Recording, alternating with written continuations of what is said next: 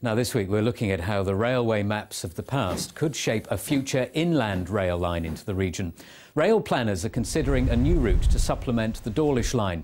One of three options is the old route north of Dartmoor. Trains to London would head up to Bere Alston on the existing line. There are already plans to reconnect from there to Tavistock.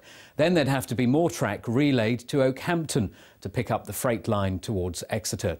Our business correspondent Neil Gallacher starts his report in Tavistock.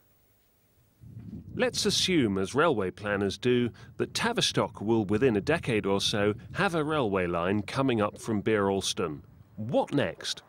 Let's start near the probable site of Tavistock's new station at Monksmead. The line used to go beyond here up towards Okehampton, and the Monksmead estate here wasn't built over the line. You can still see the railway embankment there, heading up towards Okehampton.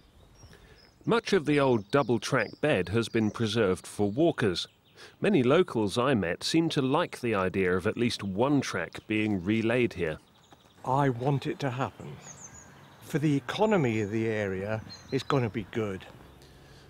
Well, it's a very wide, clearly double track viaduct. Looks nice and strong, but at least one obvious problem. As well as the 18 or so properties that would clearly need to go, there's a serious impact on homes that wouldn't need to be knocked down the homes that are close enough to be blighted merely by talk of rail. They're worried about how will they be compensated? Will they get any compensation at all? You know, and then um, they don't know is there going to be a train at seven o'clock in the morning, a train at nine o'clock at night? All those things will cause anxiety with people.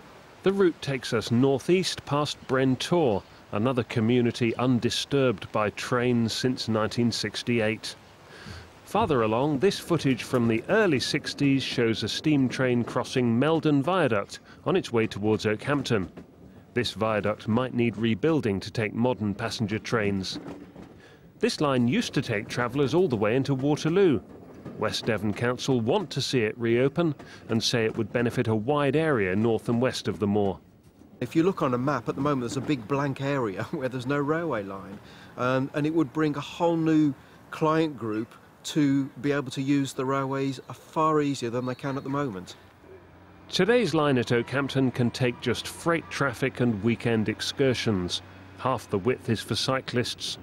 Trains from here eventually join the line down from Barnstaple and head to Exeter via Crediton. Even Inverness has got two lines, one from Aberdeen, one from Perth. So why shouldn't we have two lines to Plymouth? And in the long term, I'd like to go further and see it go on to Bodmin down the A30. But commentators in Plymouth fear this northern route might one day become the only route. There's little agreement. Andy Roden, a well-known rail journalist, says with the region losing £20 million a day, reinstating Okehampton to Tavistock as a single-track railway would pay for itself within five working days. On the other hand, Tudor Evans of Plymouth City Council says, we're not saying an alternative route via Okehampton is not a lovely thing to have, but that would add half an hour to journey times. We need something fit for purpose. It's relatively straightforward to reopen be because very few structures have been built on the line. It's largely still open terrain. And while you would need some works, it's probably, of all the reopening options, it's the quickest to be achieved. So, there's a powerful Plymouth and South Devon lobby which is really wary about this particular idea, but some senior railway figures really seem to rate it. Neil Gallacher, BBC Spotlight, on what could one day be the Tavistock Okehampton Exeter railway line. I bet some of the pictures in that report brought back memories for many people. And the journey continues tomorrow when Neil looks at the route from Newton Abbot up the Teign Valley to Exeter. Now, on to sport. And